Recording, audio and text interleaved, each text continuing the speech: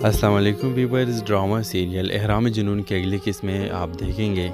Viewers, शानजे के रज़ा से शानी और शानी की माँ दोनों सजीला के रिश्ते के लिए जाएँगी और सजीला बहुत खुश हो जाएगी।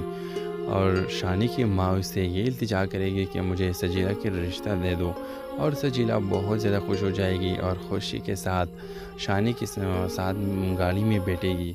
और इतनी खुश होगी और शानी से कि अब तो मेरे चर्चे होंगे, मैं एक बड़े लिशान बंगले में रहूँगी और तुम्हारे साथ बहुत खुश रहूँगी। लेकिन व्यूवर्स आप देखेंगे कि शानी उसे कहेगा कि अब शानजे का क्या होगा? तो सजीला जवाब देगी कि वो मुझ पे छोड़ो, वो मेरी मर्ज़ी है, मैं उसको एक सेकंड में घर से निकालूँगी।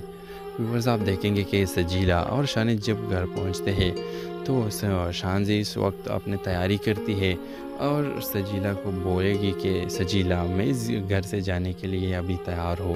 तुम दोनों यहाँ रहो, खुश रहो और मुझे अब जाना चाहिए क्योंकि मैंने अपना पूरा कोशिश की कि मैं शानी के साथ रहूँ और लेकिन शानी ने मुझे बिल्कुल इज़्ज़त नहीं दिया। लेकिन व्यूवर्स आप देखेंगे कि वो जब जाएगी तो शानी को फिर पता चलेगा कि सजीदा को एक तो एक लालची लड़की है।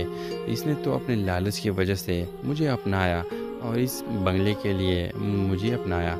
लेकिन इसने मेरा दिल का बिल्कुल ख्याल नहीं रखा। अगर ये बंगला मेरे साथ ना होती तो अब ये मेरे साथ ना होती। तो इस ड्रामे की लास्ट एपिसोड के हवाले